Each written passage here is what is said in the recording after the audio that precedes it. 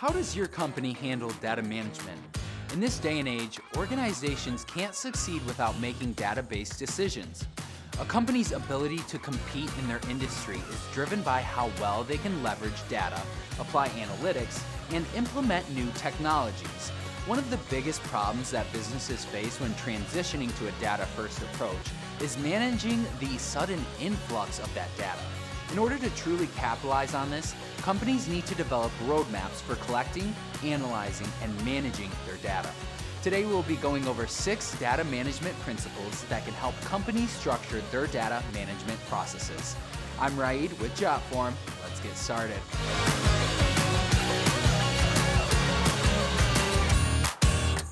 First, you'll have to create a data management strategy. Without a plan for your data management, you won't get very far in the process.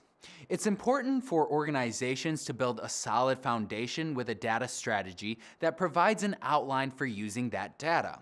Here are the key components to developing a data strategy.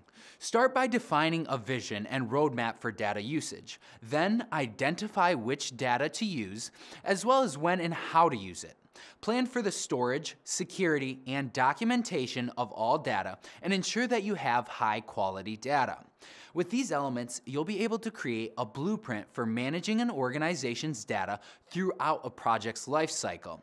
Next, define roles in the data management system. It's important that you clearly assign roles to individuals within the data management system. Data management is a team effort and everyone's role is unique yet interdependent. The three most common roles that need to be defined are data owners, data stewards, and data custodians. Data owners are the ones accountable for the data. They give the authority on who gets access to it and how it is used. Data stewards are in charge of the quality and meaning of the data. And lastly, data custodians oversee the archiving, recovery, maintenance, and security of the data. They are not responsible for analyzing it or using it to make decisions. When everyone understands what their role is within the data management, then they can successfully perform their duties within the process. The next important data management principle is controlling the data throughout its life cycle. When you have the proper policies and procedures in place, organizations can make sure that data is stored, validated, and managed until a project ends. At this point, the data can be archived or destroyed. There are six total steps in data lifecycle management. Data creation, which is where you capture and acquire new data values. Data storage is where you process the data without taking any value from it and store it so it can't be altered in any way. Data use is laying out who can use it and how. Data sharing is governing how the data is shared.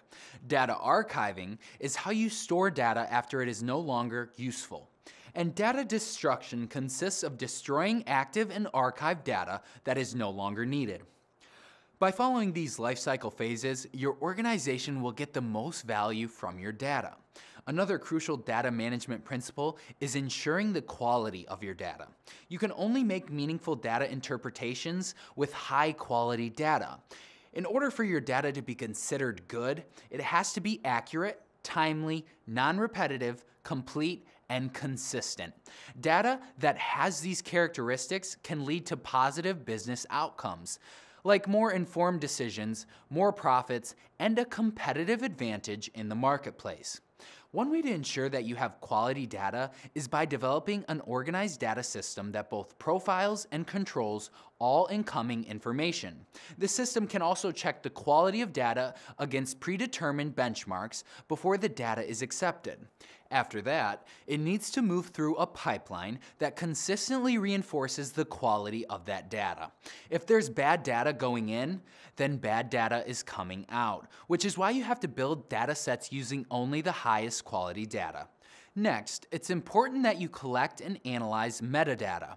If you don't know what that is, metadata is data that describes another set of data, which helps users gain a deeper understanding of it. It allows you to keep track of all aspects of the data, including how it has been collected and analyzed. You'll also have insights into the content, characteristics, and use of the data. Metadata is a crucial part to any successful data program. With metadata, you're able to efficiently classify and organize your information. When you overlook or ignore metadata, you can diminish the quality and value of your data, which is why most organizations developed a detailed approach to managing metadata. Our final data management principle is to maximize the use of your data. The rest of the principles that we discuss won't matter if a company doesn't maximize the use of the data it collects. Data that goes unused has no value. This is why organizations need to make sure that data is accessible and usable for everyone who needs it. There are several ways that you can ensure that your company is doing this. You can start by setting business goals that inform the data strategy. This will ensure that data is actually being used, not just stored. Make sure that you standardize your data collection to create clean, user-friendly databases. Make your data analytics a core competency of the company and educate everyone within your company on how to use data meaningfully. Okay, let's review. When it comes to data management, there are six key principles that you should complete when moving forward. First, plan out a data management strategy. Then, define the roles within your data management system. Have control of your data throughout the entirety of its life cycle. Then, make sure that you are collecting high quality data. Also, don't forget to collect and analyze metadata as well. And finally, maximize the use of your data. Collecting data without actually using it doesn't help anybody, but actually utilizing your data will help your organization immensely. Thank you so much for watching today. I hope this video was helpful. I'm Raed here with Jotform. Have a great day, everybody.